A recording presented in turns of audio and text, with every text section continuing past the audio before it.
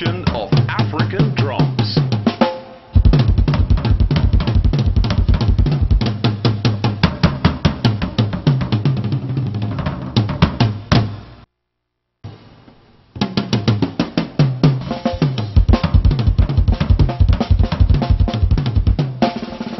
The African drums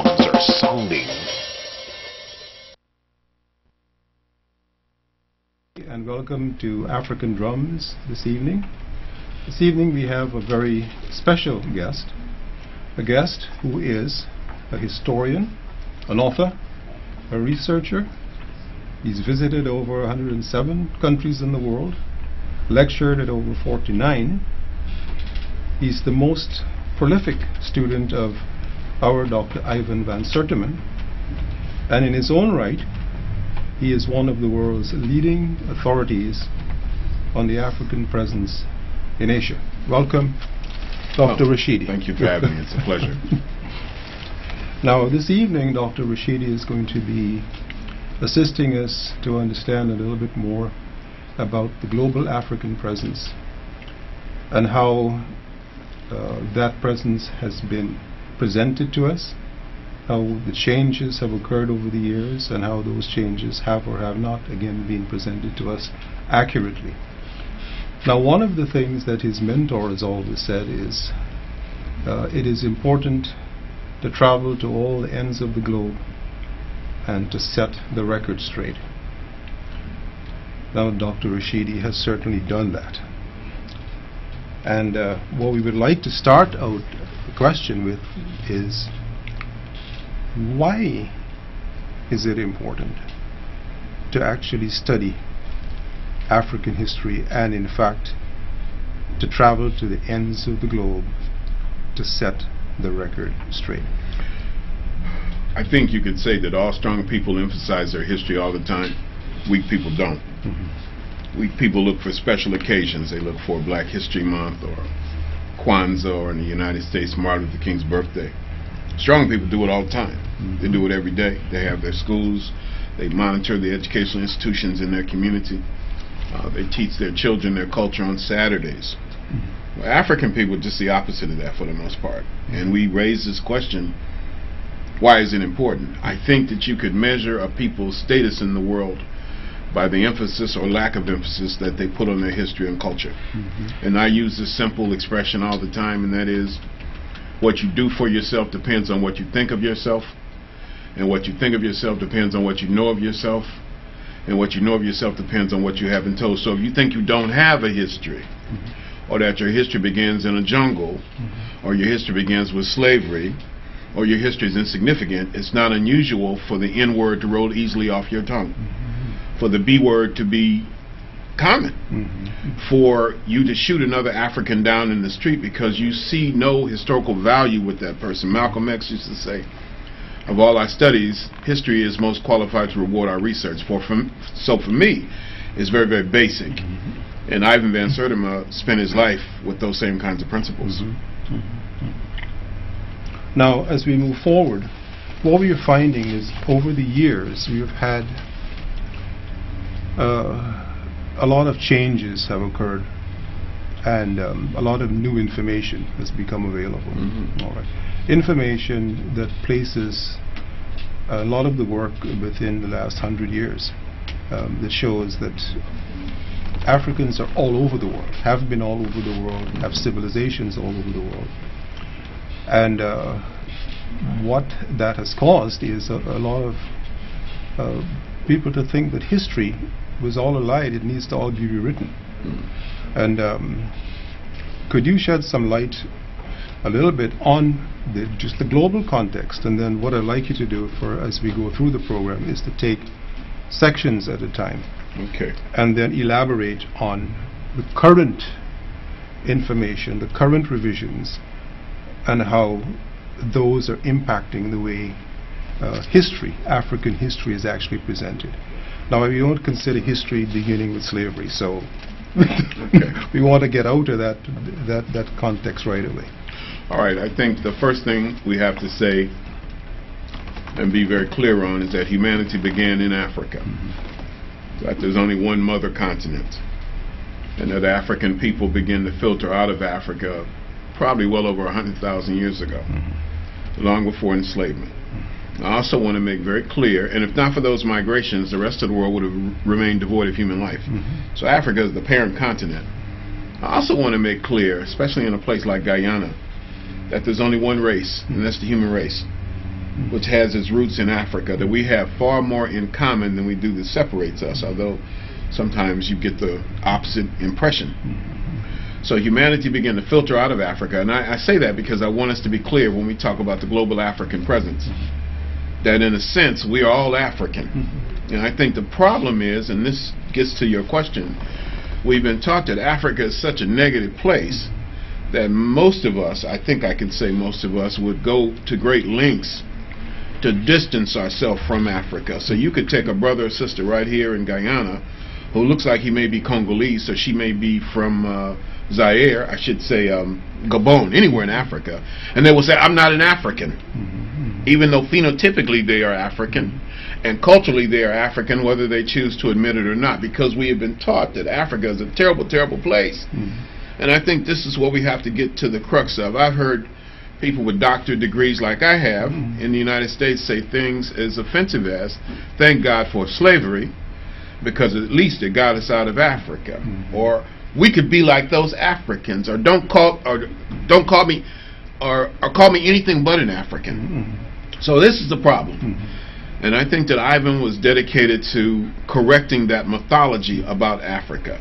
So humanity emerges out of Africa and they filter to the far corners of the earth, and many of them go into Asia. In fact, Asia is the first continent uh, that we could uh, talk about in terms of of the African presence. And I want to kind of do a global overview, but you mentioned the new researches and new findings. Mm-hmm. I said all that to say I think we've had for a very long period of time enough information, mm-hmm. you know, to refute the negative images that we have of Africa. The mm-hmm. problem is it has not penetrated the popular imagination. Ivan, in perhaps his most important book to me, which is called Blacks in Science, I think it's very important, talked about Africans who domesticated fire, mm-hmm. Africans who were early innovators in metallurgy, you know, Africans who were astronomers, who, who were stargazers. Science has shown this a long time ago, mm-hmm. but in the popular imagination, Africa is still a terrible, terrible, terrible place. Mm-hmm. And we speak of Africa in the most simplistic terms. So, for example, if I go to Cameroon, people want to know if I contacted the Ebola virus, but the Ebola is in Guinea, Sierra Leone, and uh, Liberia, thousands and thousands of miles away from there. It's farther than um, we are from New York City. Mm-hmm. So I think that we have to change the simplistic view that we have of Africa. Mm-hmm. It's not just the information, it's not just the researchers. We have to find a way to put it in the popular imagination so that people, black people, white people, red people, every yellow people, everybody begins to think of Africa in a new light. And I think that that has to be the foundation of even the historical researches that we do and the impact that they're going to have. Mm-hmm. Now, the historical research, as you said, is introduces some new things, and you want to provide a global context. Could you start us then from So many new things. from Um, that even cause us to redefine what we mean by civilization. I was in Mexico in uh, July. I took a group there, and we had a very interesting tour guide. He was a Mexican scholar, brilliant. And we both came to the conclusion that the framework that we're operating in- within is Eurocentric. So that, for example, um, people ask me, Dr. Rashidi, what was the original name for the continent of Africa? And we would say that the whole idea of continents comes out of the European world. How would ancient people even know that they were on a continent? And so um, I think that a lot of what we have to do is uh, begin to analyze the framework itself. So civilization, when, when I talk about civilization, historically I've meant um, a culture with characterized by four component parts: urbanization, metallurgy, um, writing systems, agricultural science.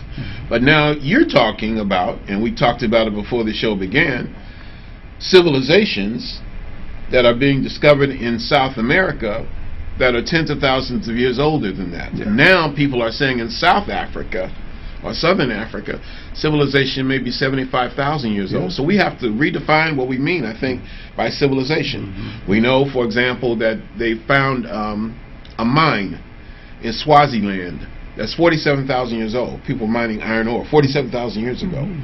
Or a new find in Swaziland just within the last few years called the uh, Lebombo bone. Yeah. It's 37,000 years old. It's the first known use of mathematics in the world. We find evidences of art in southern Africa 75,000 years old. In 1999, a report came out published by Chinese scientists saying that virtually everybody in China today has African DNA and African blood types.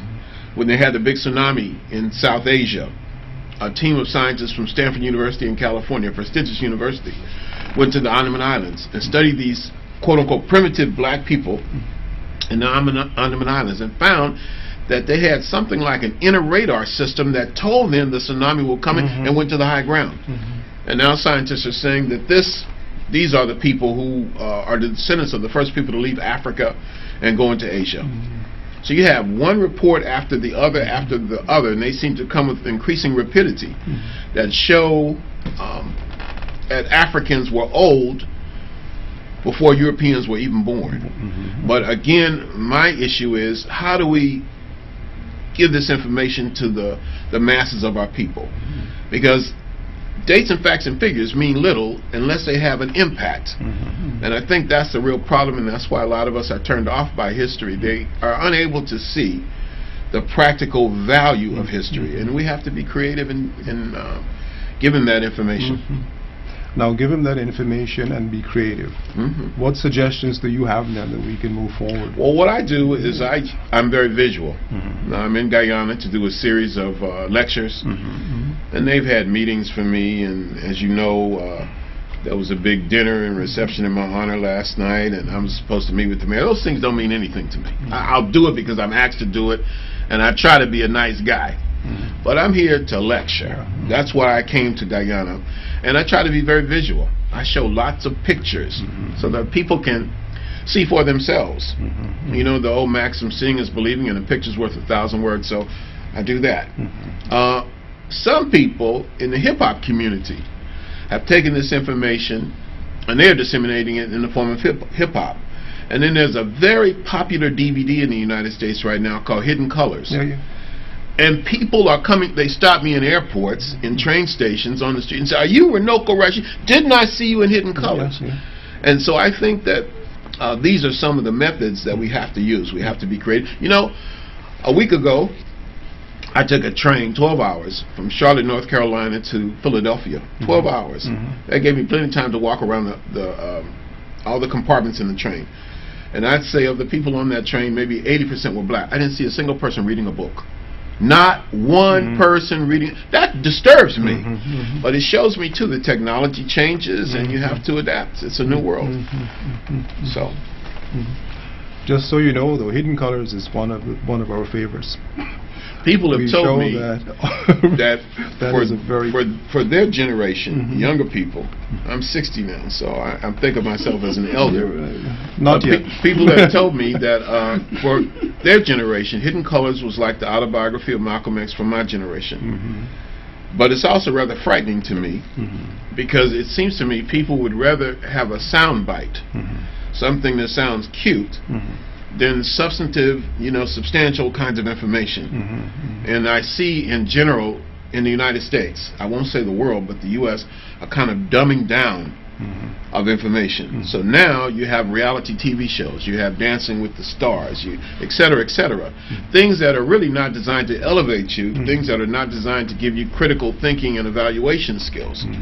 And that's rather frightening to me, too. I'm glad for the success of Hidden Colors, but I still rather encourage people to do some research, go do some study, read a book. mhm. You know, and even if you're going to go online, use it for more than, you know, a dating service. Mhm, mhm, mhm. I know you didn't ask me for all this. I guess I'm just being spontaneous. you know. no, but that is We can go back to the scholarship no, but the spontaneity is important because oftentimes we get wrapped in the, in in the program Yeah. and we don't get the benefit of the spontaneity. Mm-hmm. So I think it's, it's very important to have the spontaneity and to let it flow. Um, but coming back to the, the same spontaneity, if now let's look at education, right? The formal education systems oftentimes do not provide for provide in, in the normal course of a day the opportunity for African education, anything about African culture, African history. What we're finding is this has to be done b- extracurricular, Yes. extracurricular. Um, we have DVDs that we can, people would have to purchase. There are books now that are available. Um, there is also, again, like some musicians who want to do this. hmm But the limitation is, again, the receptive, the, the public. They still have to get sensitized before they even feel that they need to expose themselves to this unknown stuff. hmm You know, what we're finding also is that people are being asked to choose between being African and being a, a particular religion. You know, are you African or are you Christian? Are you African or are you Muslim? Are you African? And so there are a lot of uh, real decisions that people have to make in, in terms of soul searching to even come to the point to say, and this is why there's an obstacle to say I'm African. There are people I know that say I have a problem with being African. I have a problem with being black. I have a problem with being. I am, you know, I prefer to be neutral. Literally, Uh, I was reading uh, something on the, on the, uh, the, the the little girl that was in in um, Bill Cosby's Yeah. show. Raven-Symoné. Raven Simone, you know, her, her, her recent interview, you've seen that. Yeah, I know about it. Mm. Yeah, so where does that come from? I mean, how does one get to the point where you can say I am neutral? I want to be no race. I want to be no anything. I, ju- I just want to be me. But me meaning, Not African. yeah. I think a lot of it is just pure opportunism. mm mm. I think if a person were to say, look, I'm black, I'm proud, I come from Africa, I don't know how popular that would make you in the broader world. Mhm, So if you say, or this guy Pharrell mhm, has a song, um, very popular artist right now, um, I think it's called Happy or something Mhm. like that. I think that advances his career mhm, mhm, because it's not threatening. mhm, It's what people want to hear, the Mhm. wider community wants to hear. mhm. They don't want to hear this black stuff. Mhm. They want to hear we're all the same, and in spite of the fact that we've been beaten and brutalized and everything, Mhm. it's still okay. You know, I'm not mad. Yeah, Don't, think, don't Everything is about cool. Africa was a long time ago, but you can never tell a Jewish person that the Holocaust was a long time it. ago. And you cannot accuse a Jewish person of um, promoting their own culture, their own history. Mhm. But many of those very same people will tell you, get over it. Mhm. After all, wasn't slavery a long time ago? Mhm. So this Raven-Symoné, I think, um, in my mind, I don't know her. She seems opportunistic. The Mhm. media really played that up. Yeah. And and now you also look at the fact you have a black president, so race, whether you talk about it or not, in the United States is there for everybody to see. It's what we call the 800 pound gorilla in the room, Mhm. or the elephant in the room. And also the fact that in the United States right now you have a spate, a whole series of police shootings of unarmed black youth, Yeah. Mhm. and it's made the news. So when you have a person, s- no, no, no, no, no, no, no, we're all the same Mhm. and color really doesn't matter. And I don't believe in race. And Africa was a long time ago, and I just see myself as an American. I find that very opportunistic, Mhm. and white people love that because it makes people feel more comfortable. But at the same time, if you had asked me that, I'm 60 now. If you had asked me that question when I was a youth, I might have said the same thing. Mhm. I'm not black. Mhm. I'm not African. I don't want to have nothing to do with those Africans. The difference is I've grown. I've Ah. learned about Africa. You see, knowledge. and so as you become exposed to it, Mhm.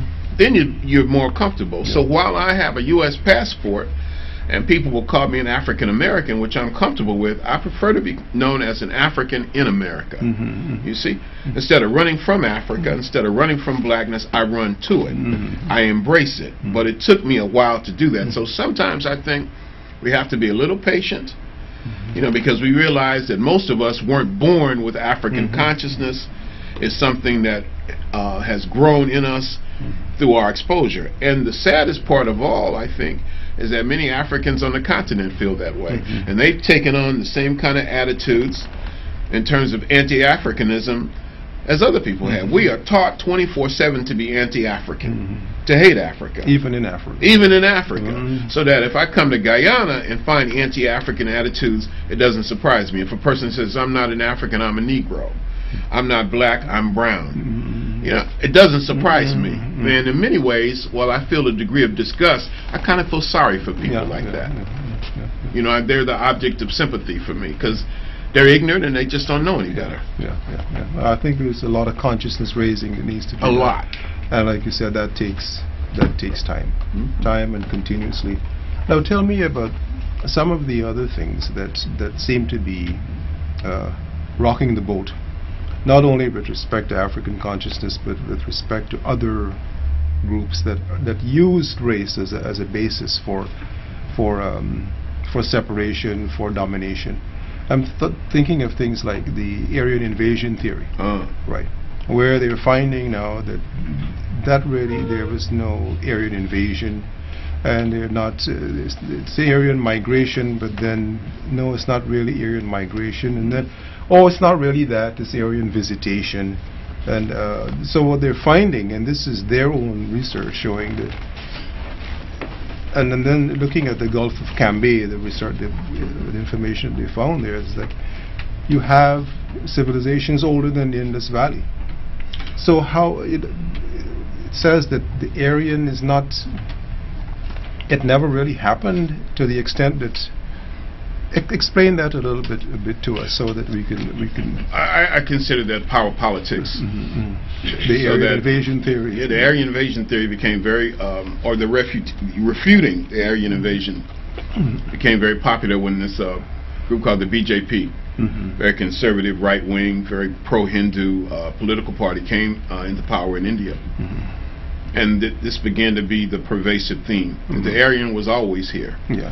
That this idea that the Aryan was a violent, nomadic person that came in and destroyed black civilization, nonsense. Mhm, It's just a rewriting of history. mhm, It's happening in the United States on a smaller scale. mhm, I guess the Aryan invasion uh, uh, issue is important right now because we are in Guyana mhm. and you have this very ugly divide Mhm. between Indians and Africans, Mhm. which I find reprehensible. It's very sad. Mhm. But in the United States, it happens on a smaller scale. For example, in the state of Texas, people are now saying in the textbooks, because it's very conservative, slavery really wasn't so bad. No. Mhm, The slaves were looked after, everybody had a job. It really wasn't so bad after all. Or, you know, you, you can probably find many, many, many examples of that. There's an African proverb that says, um, until the lion has his historian, Yeah. the hunter will always be a hero. Mhm. And so what we have are people in power telling their story, Mhm. telling it from their perspective. And I don't blame them for that. Mhm. A lot of times I, I hear um, when I post something on Facebook or social media, Runoko, they didn't tell us that. We weren't informed Mm, of that mm. when it comes to, you know, African achievements. And then I say that's true.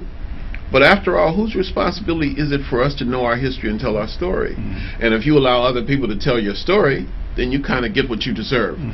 And so what we want to try to do is light a fire under our people to write our own histories, to tell our own stories. Mhm. In terms of the Gulf of Cambay, that's just one more example, I think, of new information that substantiates the old information, but is downplayed in the popular media. I'll give you another example, classic example. It's a very important one. This is back in Africa. Mhm. Now, you have what's called Narmer's Palette.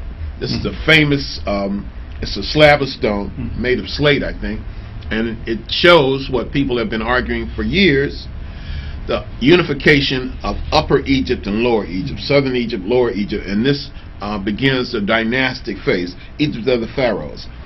there's a brilliant scholar who went to Harvard, white man, and I have to say that because if it's a black person, people will say, "Oh, he's just it's political. Yeah. He's pushing his agenda." This is a European, and isn't it a shame that we have to do It's- that? Yeah, it's terrible.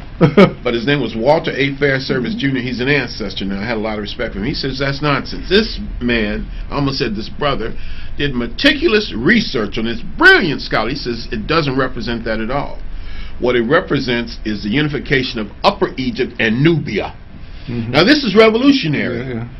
And Nubia. completely ignored. Mhm. Or you have another European American named Bruce Williams, who in 1980 uh, did an analysis of um, a stone incense burner found in a place called Qustul in Nubia.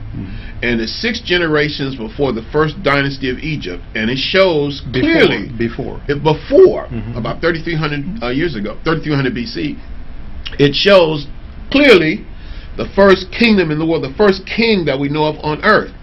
He was completely ostracized. He lost his teaching position Mhm. because these things are simply not um, palatable. Yeah. And today is Columbus Day. Yeah. And in spite of everything we know to the contrary, they're still talking about Columbus discovered America. What an insult Yeah. to Native Americans. You call them Amerindians. What an insult to Africans Okay. because Columbus is almost single-handedly responsible for beginning the transatlantic slave trade.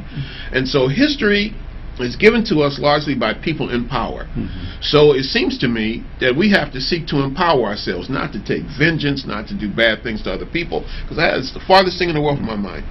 But to empower ourselves so that we can create a society, a world order that is based on truth and justice and righteousness and order. And I think that in essence, that's what this historical research is all about. It's not just to have facts and figures. It's not just to make you feel good about yourself, mm-hmm. but it's to give you the information that allows you to empower yourself so we can create a society, a new world order based on humanism, or what the people in southern Africa call Ubuntu. Mhm. And I think that Africans have that in abundance. Even now, in spite of everything we've suffered, black people say, can't we all just get along? Mhm. You know, I, I just want a peaceful world. I just want to be left alone. You know, this whole idea of love your enemy seems to be strong in the African community. Yeah, in spite yeah. of everything we've suffered, we just want to get along. We just want to be happy. yeah, Can we all live in peace and harmony? That seems to be intrinsically African. It's not European. Yeah. Uh-huh. Mhm, mhm. Mhm. So how does that then all relate to the other things that are going on in the world? Like um, some people think that the the Ebola scare, for example, is all part of a modern, current day uh, flag, false flag, if you will, Mm. the operation that's set up so that um, people can just invade and do much more, much more destruction of history, much more uh, removing of lib- liberty, so that you don't have um, you don't have the wherewithal to even pursue the kinds of things you're talking about.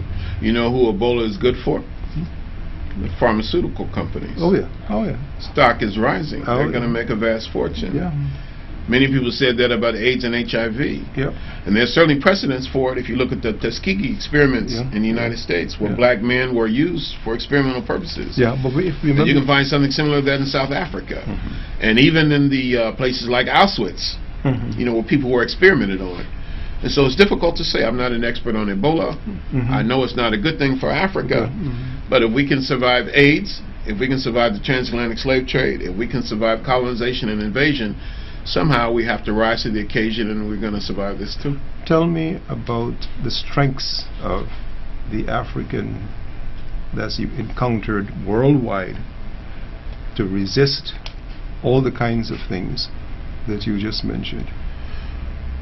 In other words, the, the, the, the qualities that that have us here today, as opposed to, as you say, the victims, the victims, the victimhood. Mm-hmm. I think there are certain deeply rooted qualities in African people that God is good. Mhm. You know, if you look at Greek mythology, God is uh, kind of a malevolent creature. You know, mm-hmm. He's out to get you. He's mm-hmm. putting all these challenges in front of you. I think the idea that God is good, that human beings are essentially good. That we can survive all things. Somebody gave me a very interesting statistic, not a statistic, but a fact. And they told me that in this country, there's a high rate of suicide. but the rate of suicide is very low among black people. Mhm. That somehow, no matter how tough life is, Mhm. it's very difficult for the average black person to contemplate taking their own life.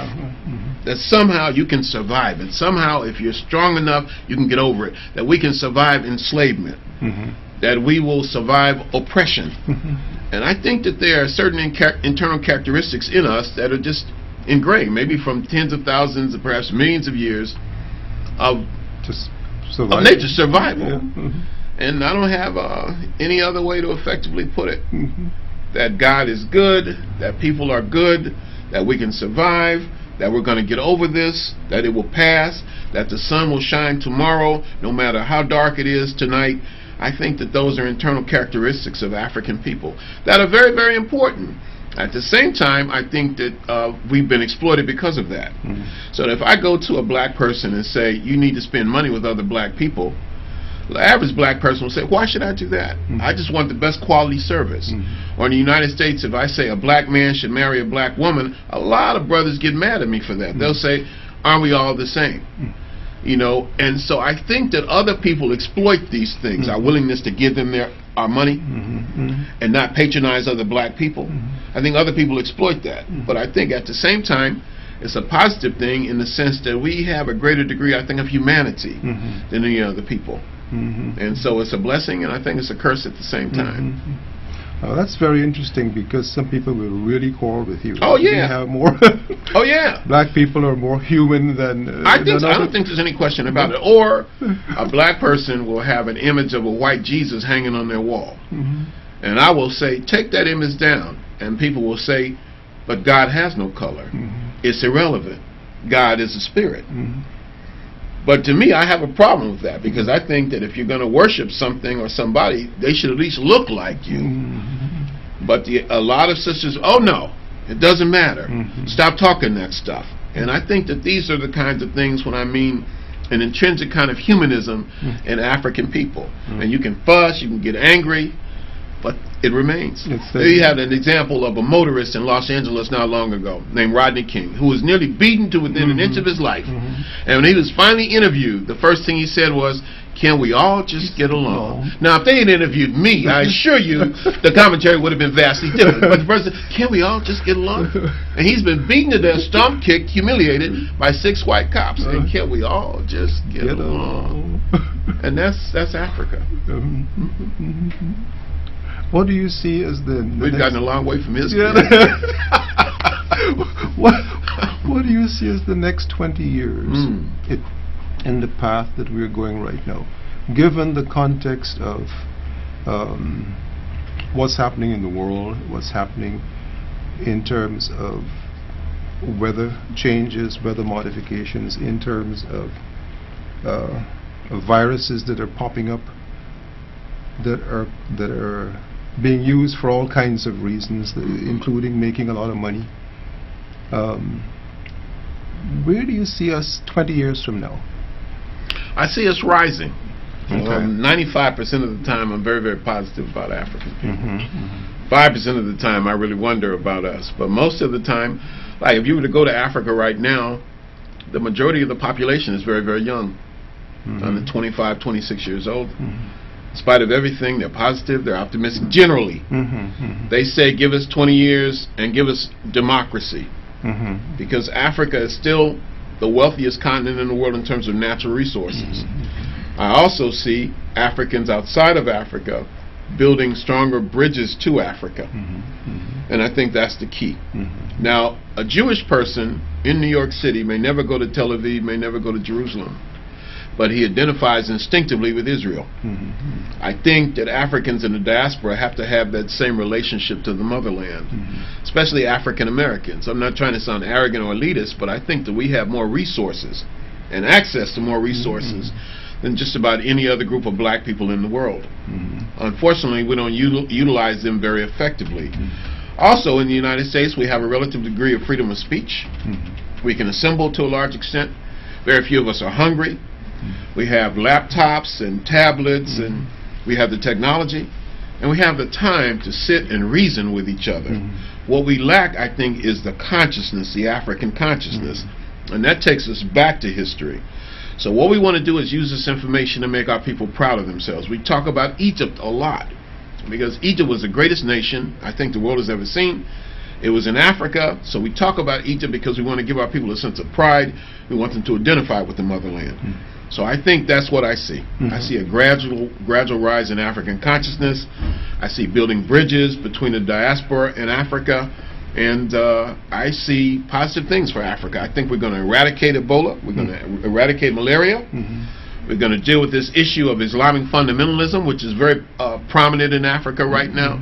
I think that we have to look at our history and see that we have a, a resilient uh, past, and the things we've done in the past gives us the foundation for what we must do in the future. That's what I think. Now, the new new countries, and I, when I say new countries, a lot of people don't realize that you know the extent of the the African diaspora, particularly in the Americas, Mm. right? Particularly in in South America, Mhm. people have no idea what Colombia look, looks like, what what uh, what Ecuador looks like in terms of.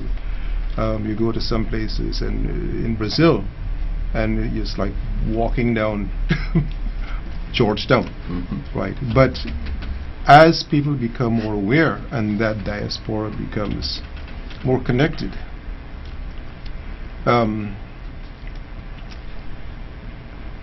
your hypothesis that's going to cause a more powerful unity, I have no question about greater that. unity, Mhm. Right? A, a more a more positive reinforcement, if you will. And the more we go back in history and and firm up the history, in other words, historians write their own history, and that becomes available. Mm. Then that you know what we, what I found too. I was in Venezuela not too long ago, and um, one of the things that I was told by an, an Amerindian, one of the Indians there, is that you can take a course in your particular tribal language up to the university level. Now, you, you talked about university before. And what I find is, I find in Africa, that is a, a requirement now. Every student must take, must study an African language formally which, as I understood it, that was not required, you know, 30, 40 years ago. As a matter of fact, it was just the opposite. Forget your language. Mhm. So I think to complement what you were saying is that the, the, the, the notion that everybody must have an African root, rooted in an African language, is a step in the right direction. Well, you know, we a lot of times we say, obviously we were taken from Africa, but I think it's equal equally uh, clear that we took Africa with us. We just don't know it's African. We don't know it's African, yeah. You know, you I see it in religion, hmm in Christianity. hmm The Christianity that we have, most of us in the United States, African Americans, I won't speak for other Africans, although I think I could, is not traditional Western Christianity. I grew up in the Church of God in Christ. We did what we call speaking in tongues. We danced, we shouted. That's African. hmm That's not traditional Christianity. I bet it's the same thing here. Mhm. And we also brought our religions with us. Candomblé, hmm Santeria, Mhm. Vodun. A lot of us just don't know they're African, and some of us do.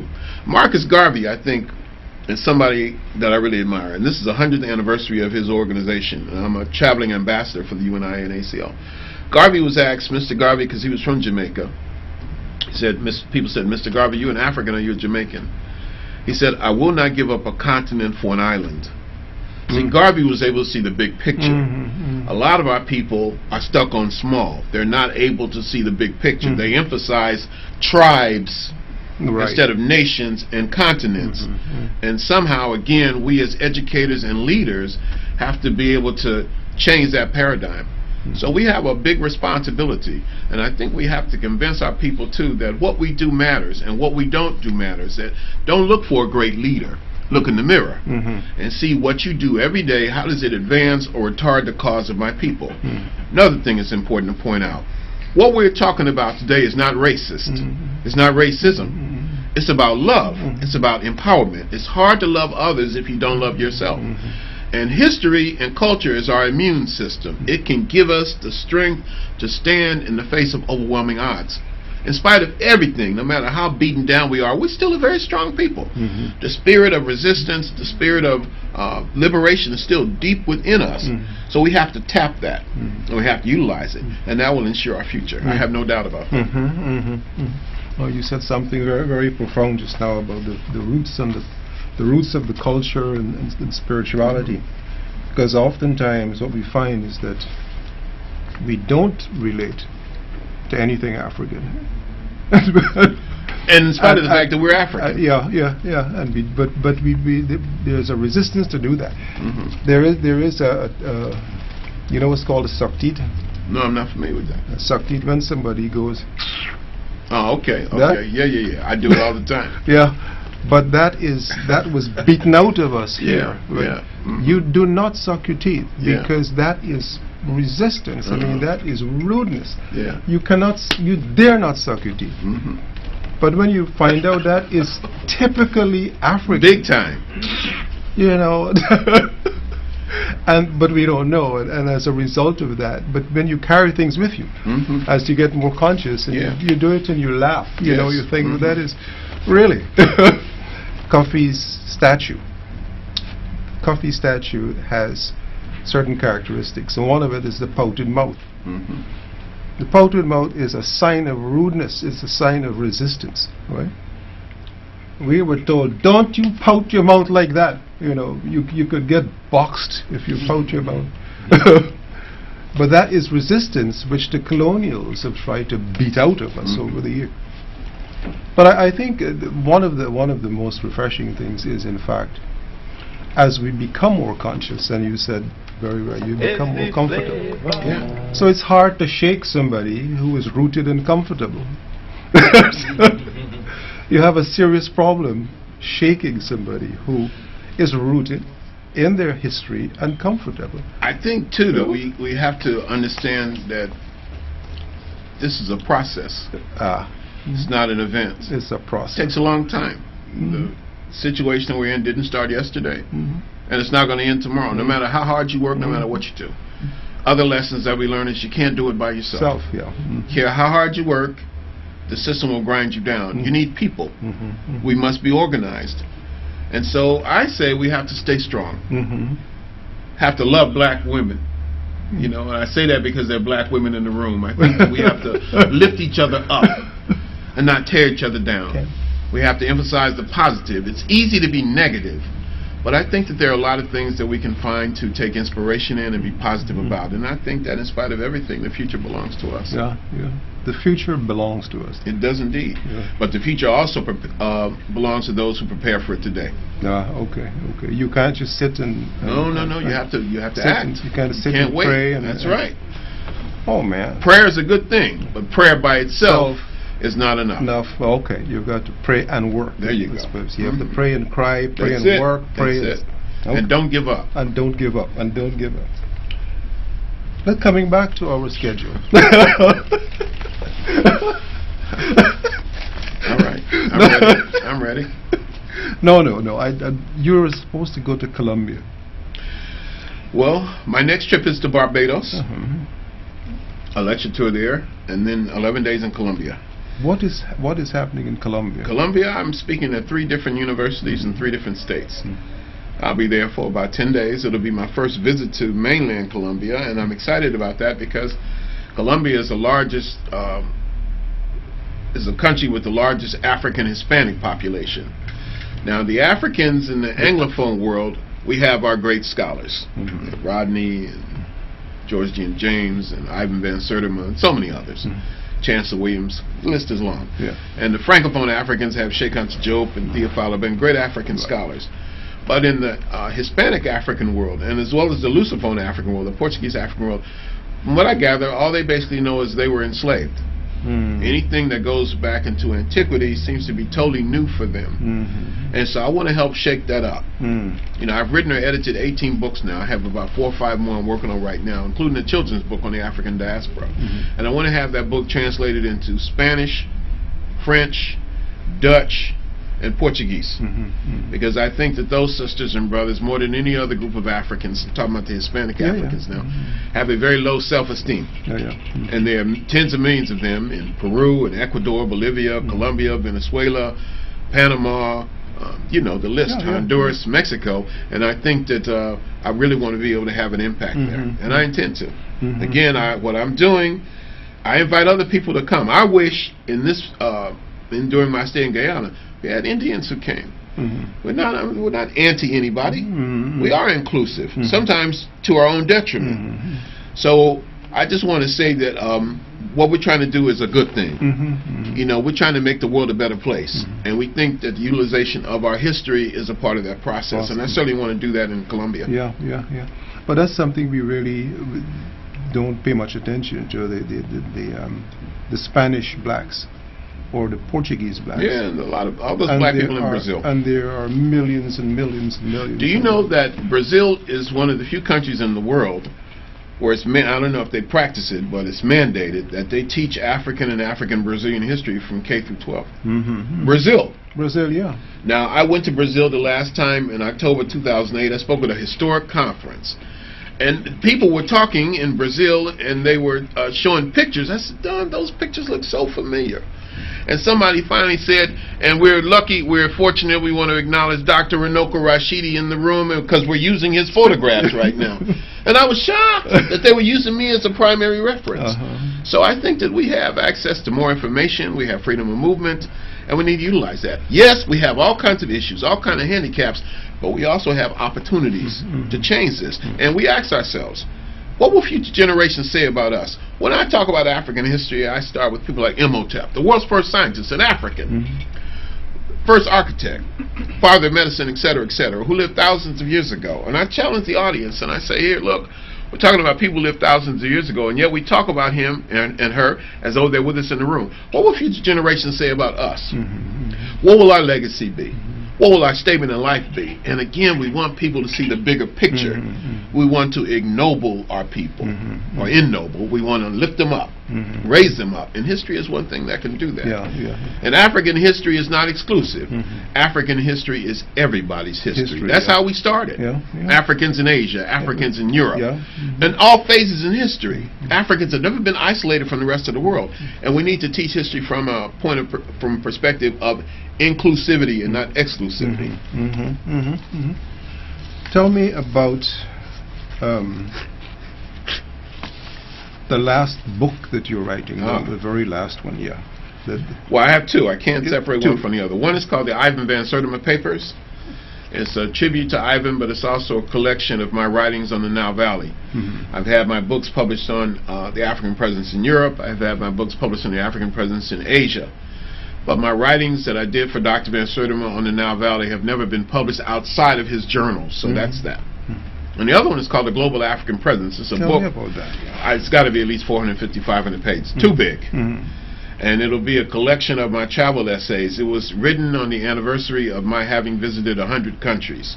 Mhm. And so, in the process of this, most of the time, lonely in a room, a hotel room by myself, I sit at night and write about the experience. And I want, and those are all being compiled with my best travel photos. Mhm. So those are the two books that I have coming out, and they should be available if I finally finish them up and do the photos uh, sometime early next year. early next year. Mm-hmm. And the children's books? The children's book, I'm going to give myself another nine months to do. Mhm. Um, it's not a book that I'm writing, it's a book that I'm editing, but I suspect that I'll end up doing most of the writing too. Mhm. But when you work with other people, you have to take their schedules into consideration. And I don't want it to be a big book, Mhm. no more than 100 pages. Mhm. Uh, Is it going to be a lot, a lot of photographs? a lot of photos, basics, some timelines, some maps. Mhm. You know, very, very, very visual. So that's another book. I'm doing another book on great black leaders, ancient and modern. I'm doing another book on great African women, ancient and modern. I cannot say enough good things about black women. Uh, I love them, I salute them, I honor them, I praise them. Also, I'm doing a book, the book that I'm looking forward to the most, that I'm enjoying the most, is the African presence in major world museums. African collections in museums around the world. Mhm. Mhm. And that's something that stimulates my intellectual um, curiosity. Mhm. Mhm. An important lesson too. I enjoy what I do. Mhm. You I have some of our people who see themselves as martyrs. Mhm. I don't see myself as a martyr. You're I love having too much fun. I'm having fun. and I enjoy the intellectual stimulation, and I feel like I'm doing something positive. Uh-huh. And that really gives you a solid foundation. Mhm. You don't want to be miserable, all the Miserable. time. You Mhm. want to be able to say, I lived my life, I had few regrets, I enjoyed it, and this is my legacy. When I face the ancestors, when I look at Ivan Van Sertima again, Mhm. and George G. M. James again, Mhm. and Chancellor Williams and John Henrik Clarke, they will say to me, I think, Runoko, what did you do to advance the cause of my people? And I Mhm. will say, I did this, that, and the other, and I will lift my head, and they say, Welcome, my brother. Well, uh-huh. A job well done, and that's motivation for me. Mhm, mhm, mhm. Okay. Any last words? We're down to our last minutes. No, I just want to. I want to say that I've enjoyed you. That I enjoyed the interaction. I enjoyed the intellectual stimulation. I'm pleased to be in Guyana. Mhm. I'm grateful for the to the people who brought me here, and I look forward to making it a second home. A second home. Yeah, second home. Okay. I, I never feel quite like I'm at home Home. anywhere. Mhm. You know, I haven't unpacked a suitcase in 17 years. Mhm. I've traveled all over the world, and there's a lot of other places I want to see. Mhm. Next time I come back, I want to talk more about the African presence globally. I want to talk about black people in Australia, Okay. in the Pacific. You know, there was a branch of the Garvey movement in Australia Yeah. among Oh, yeah. Australians. Yeah. You have millions of black people in Melanesia who say, we come from Africa. Mhm. And yet they've never really been looked at from an African perspective. So there's much work to do, and, uh, and I love it. Now, do you have any um, students that are following you um, and following your lead? The way, the way, you know, uh, Van Sertima has affected students in the past? Yes, I do. It's a little bit tricky because I'm not at a university. Mm-hmm. So, see, if I was at a university, I'd have a bunch of graduate students. Mm-hmm. But when you're not at a university, you're doing independent research, it's, and you're moving all the time. Right. Mm-hmm. It's difficult to have a that kind of relationship. But fortunately, through social media, Mm-hmm. I think I'm able to impact a lot of people, Mm-hmm. and I am working on that. I think about what will happen to my library when I'm gone. Well, when a scholar dies, and your work is scattered to the far corners of the earth, your archives, your books, your papers, that's a crime against humanity. That's, That's- a yeah, sin. yeah, yeah. So these are things that we have to think about, and I'm at an age now where it's very important for me to develop that cadre Yeah, of students yeah. that will take it further. I think you can measure a good teacher by the students that they produce. Well, you are certainly... My brother, thank you so much. You are certainly a measure. It's been a pleasure. My pleasure. okay, ladies and gentlemen, we've just had a, a full hour with Dr. Runoko Rashidi.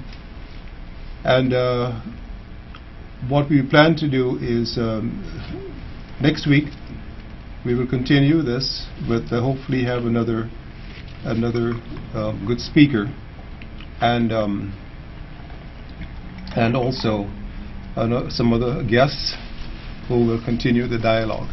So thank you, Dr. Rashidi. Thank you, sir. And um, good luck in your travels you so as you move forward and be safe and keep the fire burning and of course set the record straight. I'm doing my best.